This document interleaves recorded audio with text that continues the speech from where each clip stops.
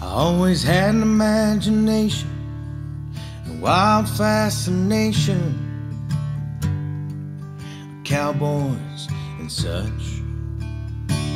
I always wanted a Schofield and a buckskin horse, a lot of bullets, lungs full of dust. Well, I'd sleep in the desert with all the bad weather. Use my knife to dig lead. Hey guys, I just want to do a walkthrough with you on this new boat I just built for myself. Um, it looks a whole lot like my blue one does, with just a did with just a few modifications. One was how I did the console. As you can see, I've got a little bit more aerodynamic bass boat style console on this hull and a nice wraparound seat. Now this wrap seat allows me to lift up the bolster and stand here and drive like this if I need to.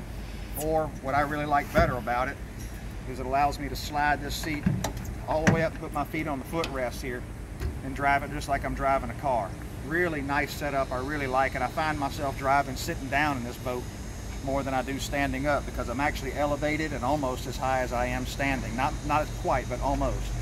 A um, couple of things I did in this boat right here, I have a live well in this back bench. Live well goes up underneath here, so it's plenty enough. It's 30 inches long. You can put a 27 inch red, crappie, bait, whatever you need to in that. Then I have some dry box steps that go from here to the front deck that allows you to walk up to the front deck, walk anywhere you need to around the whole front deck, and come back down again. Or I could have kept walking on the catwalks to the back deck. Um, but the steps themselves are dry as well. Be able to put anything you need to inside there, dry box, um, the, the, inside this dry box that you might want, remotes for the remote control, things like that. Lots of rod holders, four on each side of the console and two up in the front. So there's 10 rod holders in this boat. I got cup holders everywhere you can imagine in this thing as well. Two eight and a half foot rod lockers, one on each side. Um, these are dry as well. Have a nice dry storage area here up front for all my tackle and bait. And I have the under deck storage where you can hang the things that you want to get to quickly right there. Um, also, another boat, another thing I have in this boat that I won't ever have a boat without are these day boxes. The day boxes allow you to put just the stuff that you're using right then that day inside here and access. They're shallow. The rods slide right underneath both of them. Another storage box up here for life jackets and throw cushions and things like that. On this side of the uh, uh, boat, walk around this side over here, Jeremy.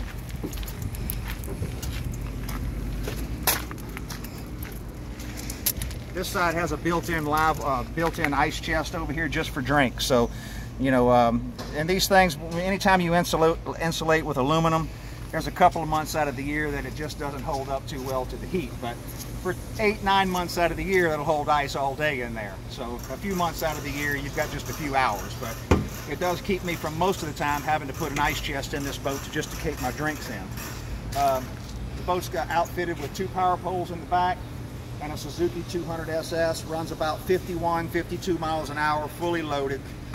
Uh, draws five, six inches of water at a dead rest. Fantastic rig. I absolutely love this boat. It's my favorite that I've ever done. And just wanted to share it with you guys. Check it out. Give us a call. We can do anything that you want in your boat. This is how I decided to do mine. But let me know how you want yours built. But I guess that ain't easy for a man who lives in the city, born too many years in time.